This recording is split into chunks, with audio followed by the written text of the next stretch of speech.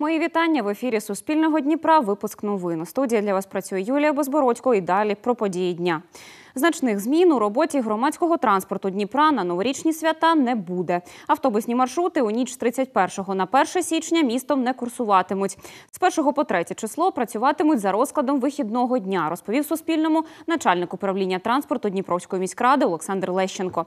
Говорить, кількість громадського транспорту зменшать, не бачить необхідності у нічних автобусних рейсах, адже святкувань через карантинні обмеження у місті не буде.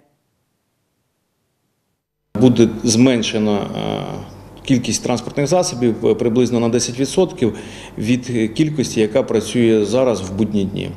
Е, Але будуть в нічний час організована робота чергових е, трамваїв та тролейбусу.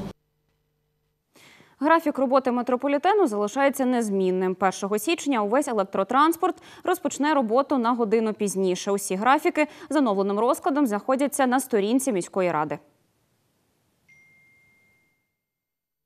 Е, Останні тролейбуси будуть, будуть відправлятися 22-22.30, а трамваї 23 е, 12.00. У зв'язку з тим, що планових ремонтів контактної мережі, трамвайних колій в ніч е, з 31 на 1 січня підприємство не планує, то мешканці міста, пасажири зможуть, е, змо- мо- зможуть скористатися трамваями, якими підприємство підвозить і завозить додому наших водіїв.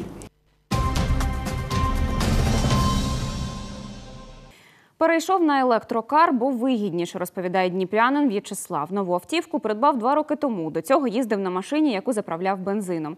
У керуванні та експлуатації, каже, різниці не відчув. Єдине, бензин змінився на електроенергію. Але тепер, говорить, частіше продумує свій маршрут. В'ячеслав був героєм ранкової суспільної студії. Тему продовжать мої колеги. К плюсам можем отнести экономичность, экологичность, то есть удобство эксплуатации. А, Ну, к минусам мы можем отнести сравнительно небольшой запас хода, а, требования для зарядки и не, не такая развитая инфраструктура, как э, в странах Европы. Раніше розповідає В'ячеслав, багато грошей витрачав на пальне. Окрім цього, потрібно було оновлювати масло, масляні фільтри. Машина потребувала більшого техобслуговування. Машина э, кушает, скажем так, 20 киловатт, около 20 киловатт электроэнергии. Вы сами можете посчитать, э, сколько у вас будет стоить километр, либо 100 километров. Конкретно в моем случае это стоит 35 гривен. Заряжается около 8-10 часов. То есть за ночь она успешно заряжается, и днем мы выезжаем, можем ездить. Свій електрокар В'ячеслав заряджає в гаражі від звичайної розетки. Вже встиг з'їздити до Харкова. Це близько 250 кілометрів, каже В'ячеслав. Заряджав машину на півдорозі. Розповідає, особливість електрокару у тому, що потрібно заздалегідь планувати свій маршрут через невеликий запас ходу. То есть, если вам хватает 100, 120, э, где-то 150 километров в день, то электромобиль смело можно покупать. Но есть одна особенность. У вас всегда должна быть по- зарядка своя. Не публичная, а своя.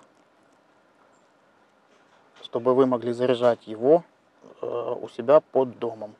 Либо там, где вы ставите свою машину. Чоловік працює водієм таксі. За місяць проїжджає на своєму авто близько 5 тисяч кілометрів. Каже, економія на паливі приблизно у 10 разів. За місяць на зарядку витрачає в середньому тисячу гривень. За словами голови громадської організації Сейф Дніпро Ірини Черниш, існує міф, що виготовлення електрокарів більше забруднює довкілля ніж авто із двигуном внутрішнього згорання, але каже, все одно вони більш екологічні. вони не продукують під час своєї діяльності викиди. А отже, на одну спалювальну установку е, в країні стає менше. Ми не маємо змінювати масло, ми не маємо замінювати інші е, деталі. Наша діяльність е, від використання такого електрокару і вплив буде суттєво меншим. Віталій Лисенко, Олександра Фіненко, Кирило Полікевич. Новини на Суспільному. Дніпро.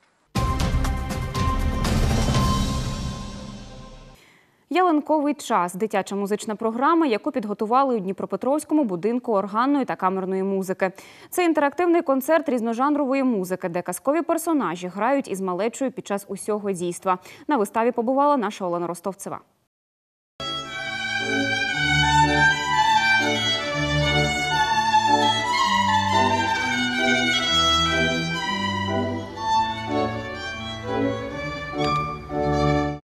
Раїса Пантелеймонова прийшла з онуками. Розповідає, що часто ходить до будинку органної музики. Я волонтер АТО і наші бійці з госпіталю, члени родин е, атош- атошників е, з радістю приходять, їх е, керівництво запрошує.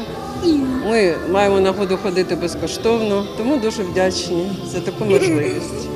За те, що нам ці ці роки, важкі військ- воєнні роки, лікують душу людям. І вся атмосфера, яка тут існує, також допомагає нам вірити в те, що переможемо. Сергій Міледін роль Діда Мороза виконує близько 40 років. Ты посмотри, какой труд. Это ты мне прислал письмо? Найголовніше в ці новорічні свята подарувати любов, подарунки, відзначити е, приємні е, хвилини життя, привітати з самими кращими е, моментами життя ріку, який уходить від нас.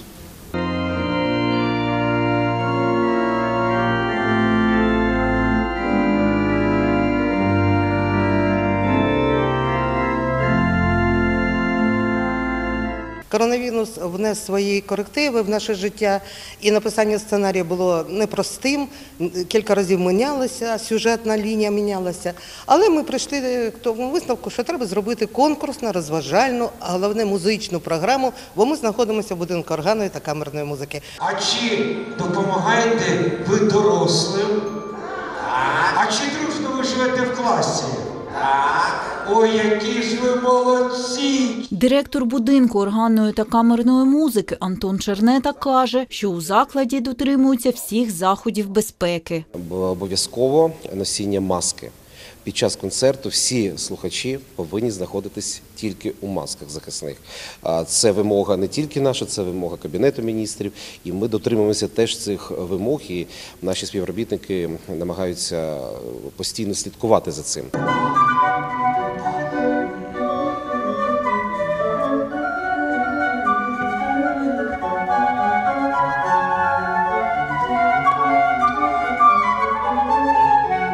Новорічну програму можна подивитись із 2 по 6 січня.